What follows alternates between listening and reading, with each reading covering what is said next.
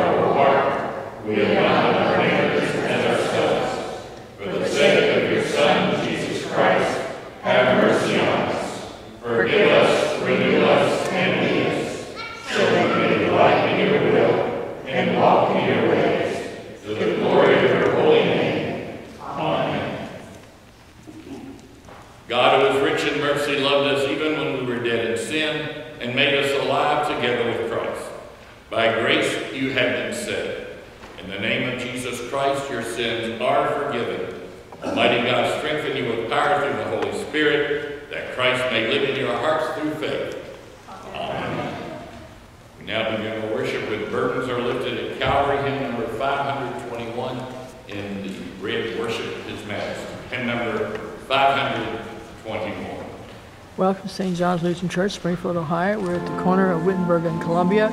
We're happy to have you come worship with us, but if you're unable to attend worship, we're happy that you're watching us on YouTube. We are uh, worshiping today the, on June the 7th, 2015. This is the second Sunday after Pentecost.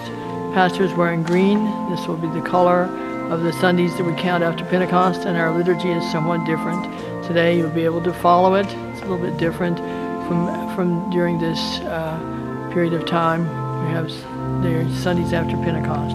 This hymn is "Burdens Are Lifted at Calvary."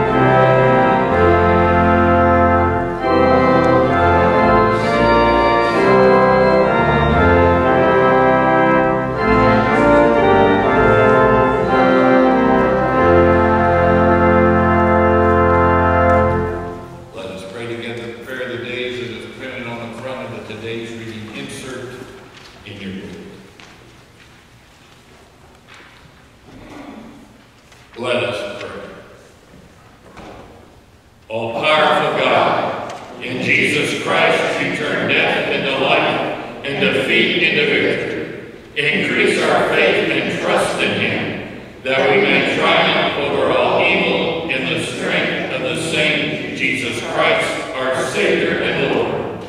Amen. You may be seated as we listen to the reading of God. Morning. Connie Singleton is doing the reading. From Genesis, third chapter, verses 8 through 15. Adam and Eve heard the sound of the Lord God walking in the garden at the time of the evening breeze. And the man and his wife hid themselves from the presence of the Lord God among the trees of the garden. But the Lord called, but the Lord God called to the man and said to him, Where are you? He said, heard the sound of you in the garden, and I was afraid because I was naked, and I hid myself. He said, Who told you that you were naked?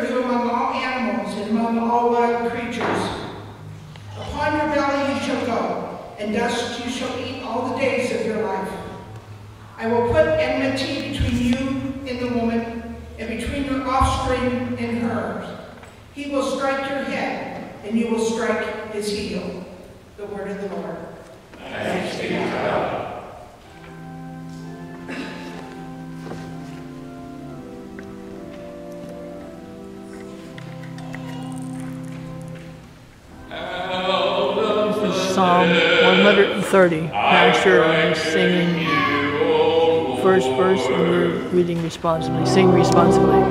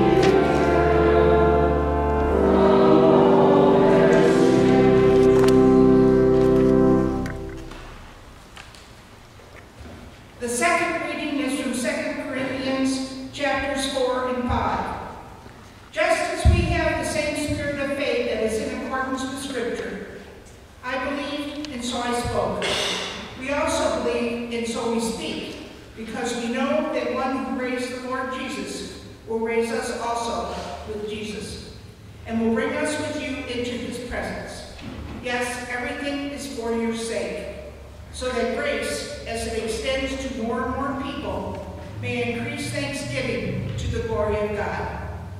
So we do not lose heart, even though our outer nature is wasting away. Our inner nature is being renewed day by day.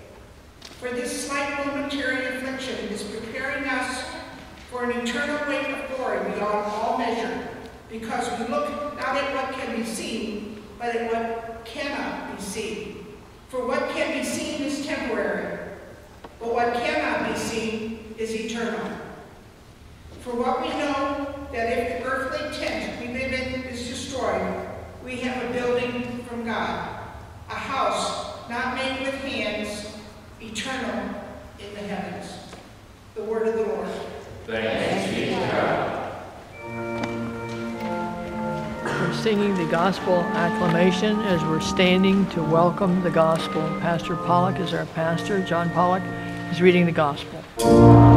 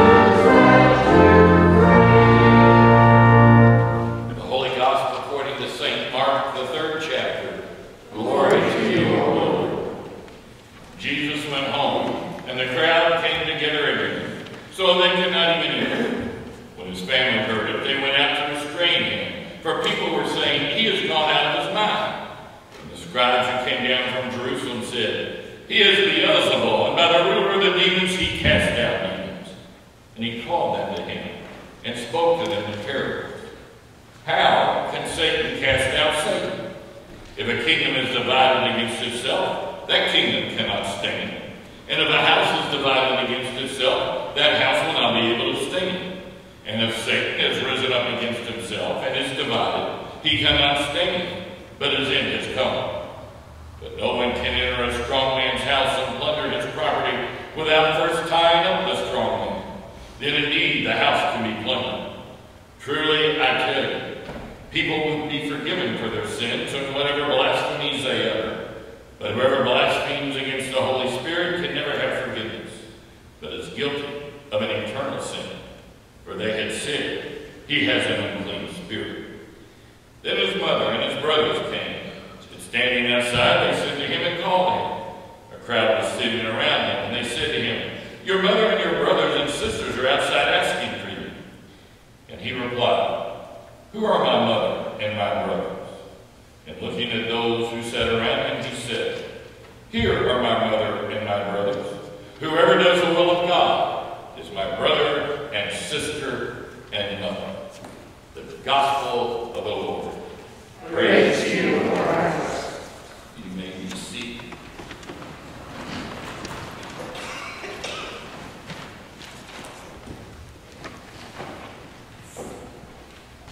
Time for our special music. After that will be the sermon.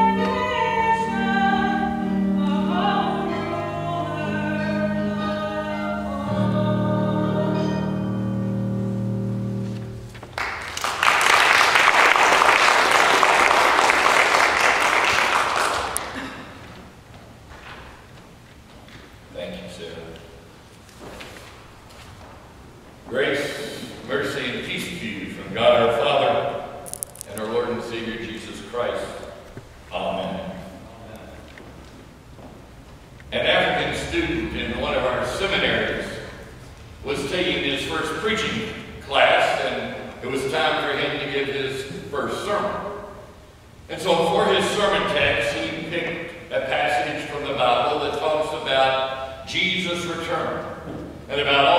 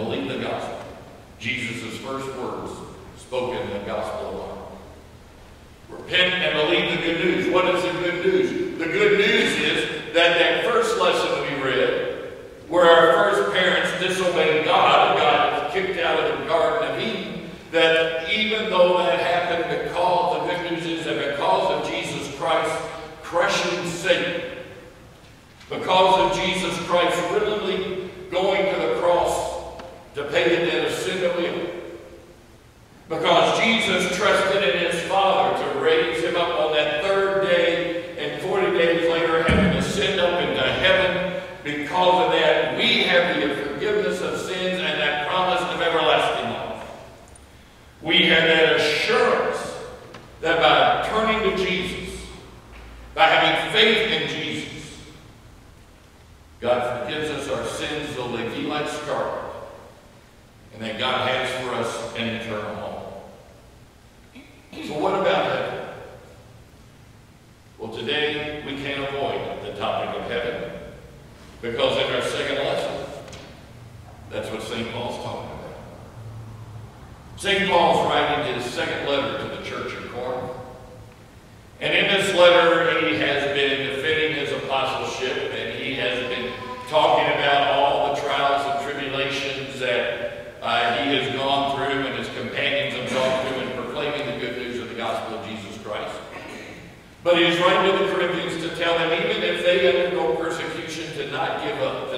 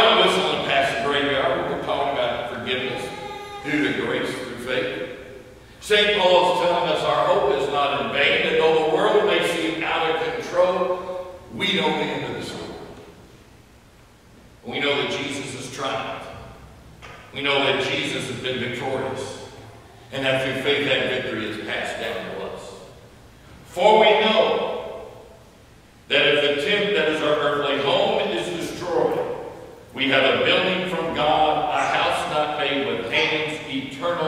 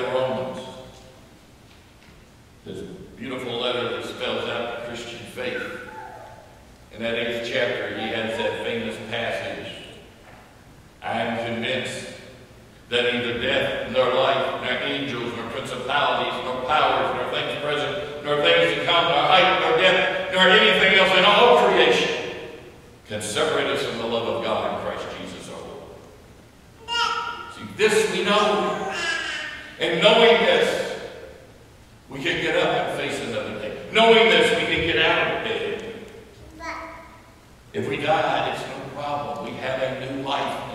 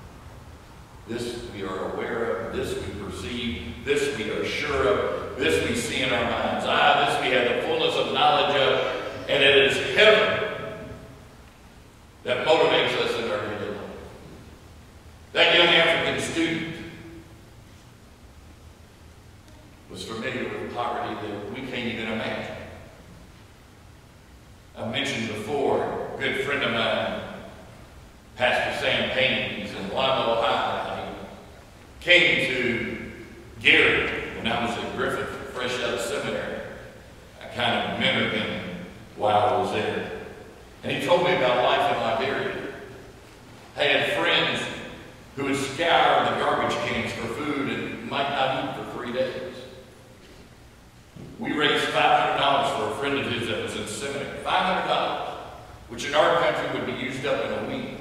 That would last that man a whole year. Not just to pay his tuition for seminary and his books, but to feed his family. But we don't know that poverty, so we don't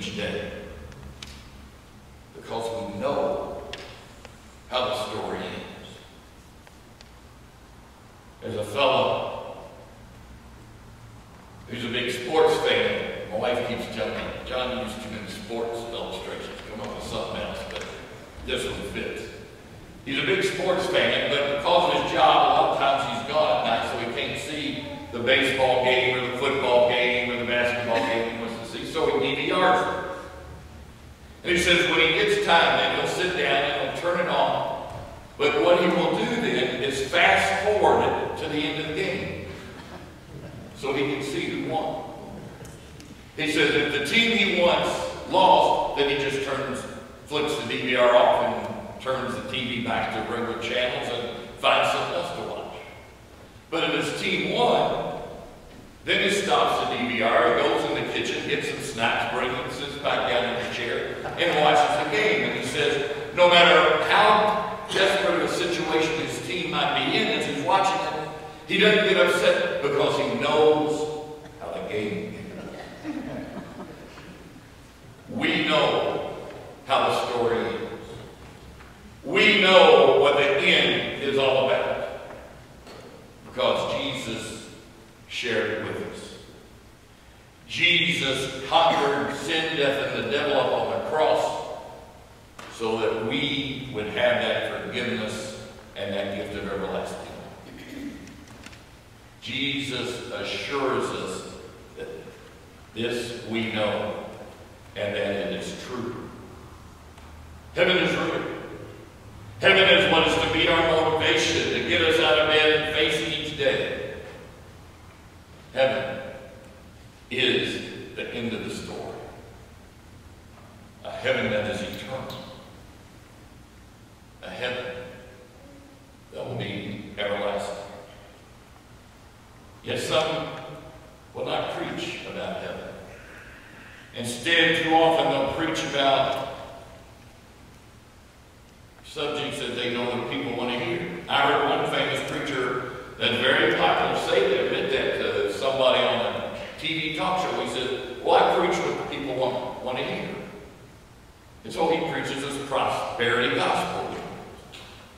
This, oh, God's going to bless you. You just believe enough and you're going to get all these material things, even though Jesus said you cannot serve God and man. Even though Jesus said it's easier for a camel to go through an eye of a needle than for a rich man to enter the kingdom of heaven. But St. Paul warned us that such would happen.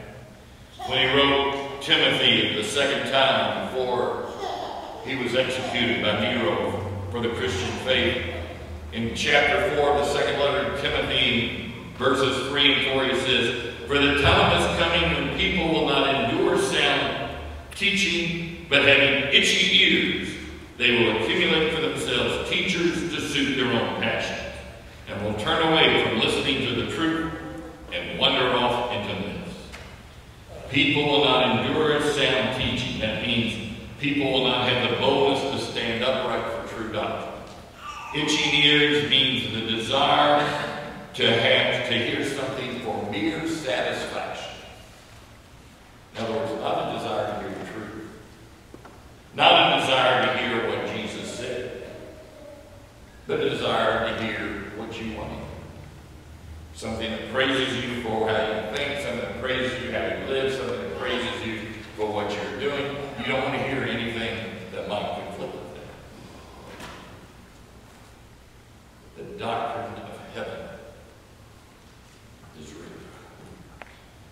That is our motivation. It should be our motivation every bit as much as that young African student's countryman back wherever country he was from in Africa. As the African student said in his sermon, people need heaven. People need to hear about heaven. And thank God, by faith in Jesus Christ, we have that gift of eternal life in heaven. This we know. Amen. Peace of God, which passes all understanding, keep your hearts and minds in Christ Jesus. Amen. We will now sing wonderful words of life in number 315 and worship His Majesty.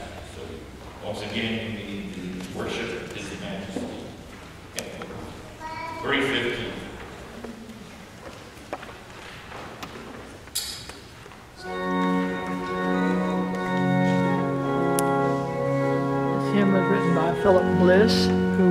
musician who wrote hymns in the 1800s. He was born in a log cabin, very poor, but he raised money to go to music school.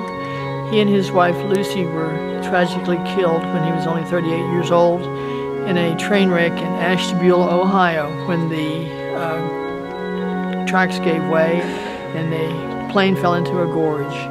Philip Bliss, Wonderful Words of Life.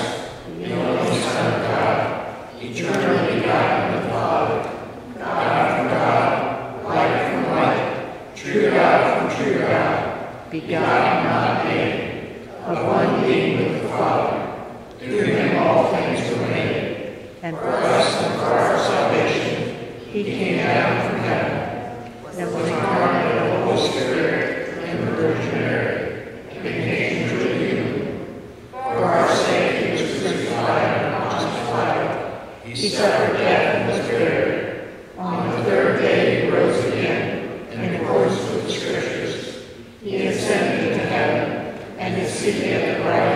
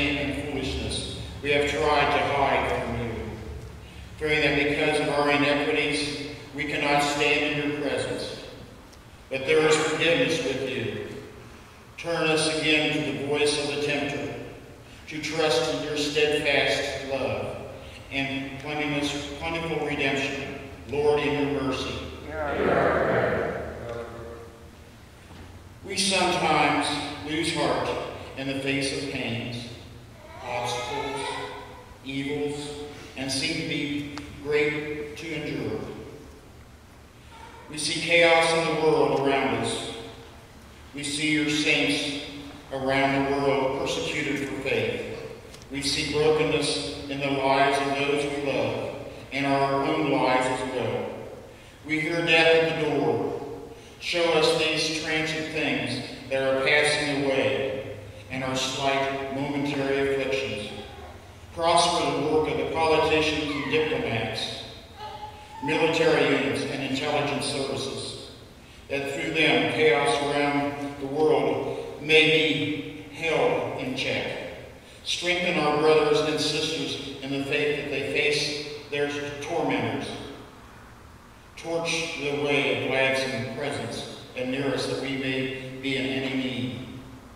Touch also those whose names and names we do not know. And grant the confident faith that we will look for the things that are unseen and eternal. Lord, in your mercy. As you raise your Raise your church also from the task in which it is called her. Bless her with the faithful bishops, pastors, and teachers. Guide the work of the institutions, especially the seminaries, schools, and social service agencies. Send your Spirit into the lives of all the baptized, that through them, as grace extends, do more and more people in the may increase the thanksgiving in your glory. Lord, in your mercy. Hear our prayer. For are those who plant and tend the fields in these days of springtime, that through their labors many may be fed, and we are engaged in any honest labor, that their work and the nation may prosper.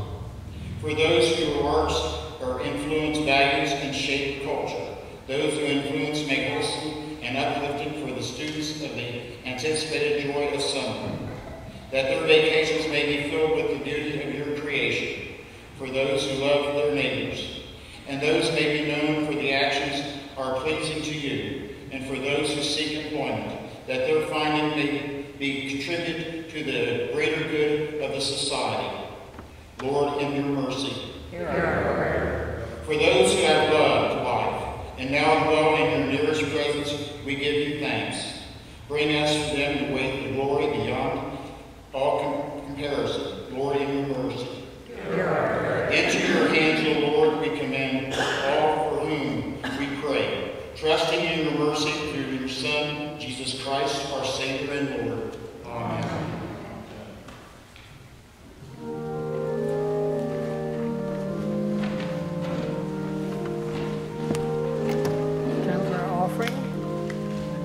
For the offering. The ushers are Ben and Carol Glaze. This is the second Sunday after Pentecost. Pastor preached a sermon today on heaven, which is our destination. We know that. We repent, we believe, we love God, we love our neighbor. Today we have the wonderful opportunity to receive Jesus Christ in the bread and in the wine today, as He has promised that as we receive Him, we take His body, we drink His blood, that we will receive eternal life. This is the method. He died on the cross to save us from sin, and He instituted the first service of Holy Communion at the time before his, the night he was betrayed, right before he died. Died on the cross to save us from sin. We believe that. We repent. We believe. Love God. We love our neighbor. We're part of the body of Christ, and He is with us forever and ever to the end of the world. He's always with us. It's part of His body. We receive it today, and His body is taken into our body. Harvey Baker is assisting the pastor today. And Sally Baker also assisting the pastor. Uh, Connie Singleton read the scripture. and then Carol Blaze are the ushers. This is the second Sunday after Pentecost. We receive Holy Communion. We invite you to virtually take Holy Communion, and receive Christ into yourself today. Repent. We have confessed our sins before God and before others, just as God commands us to do. God knows our every sin or every thought, but He forgives us. We believe, we've confessed that in the Nicene Creed, that's our profession of faith. The flowers are today in honor of Pastor and Gina's anniversary and their son Matt's birthday. We invite you to come and worship with us anytime. Our services are 8 and 10.30. Pastor has uh, the green on. This is the second Sunday of Pentecost, and uh, this is the season of Pentecost.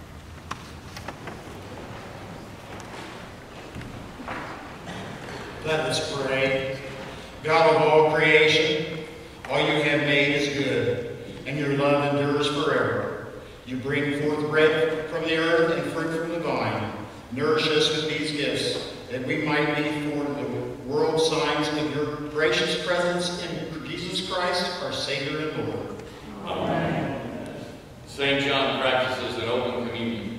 For all those who are baptized and believe in Jesus Christ as their personal Lord and Savior, who believe his body and blood are truly present as we gather at his table, and are of communion age in their own individual congregations, you're invited and encouraged to come forward with us this day as we gather at the table of our Lord.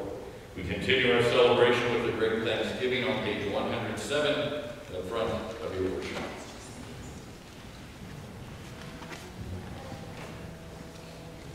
The Lord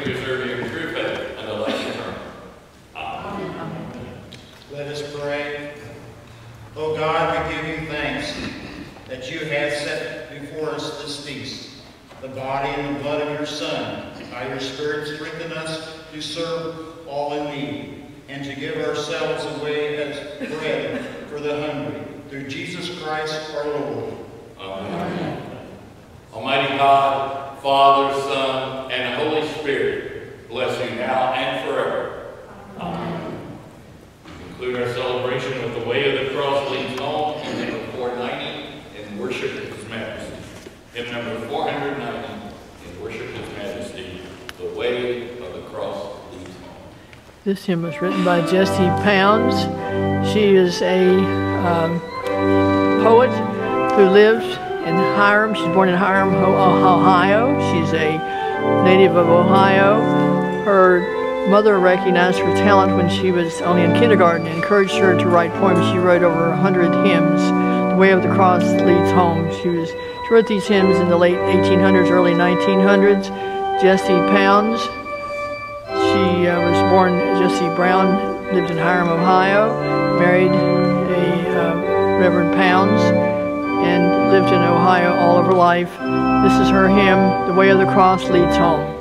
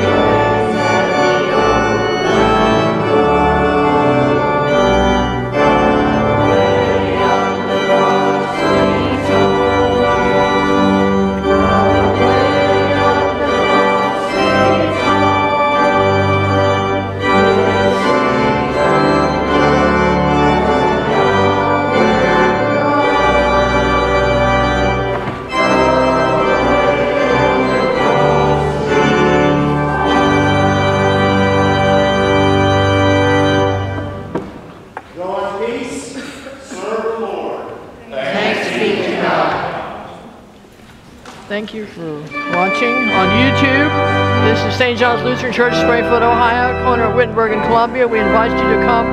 8 o'clock service is at the Melody Cruise Inn Drive-In. Come to the drive-in service. Come as you are in your car. Or you can come at 10.30 and worship. This is the 10.30 service that you've just been watching. And you're watching it on YouTube. We invite you to share this with others, to evangelize, to proclaim God's message to us that we are born again.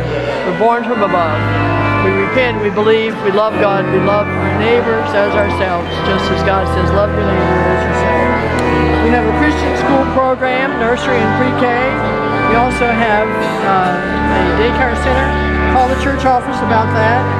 Call the school, 325-4311. Tune in again any time Just click us up on YouTube. You know how to do it, you've done it, and you share it with others.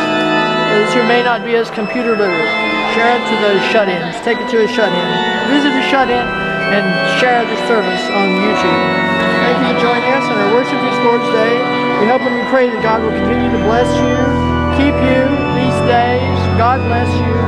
We pray for you. Continue to pray for us in our YouTube ministry.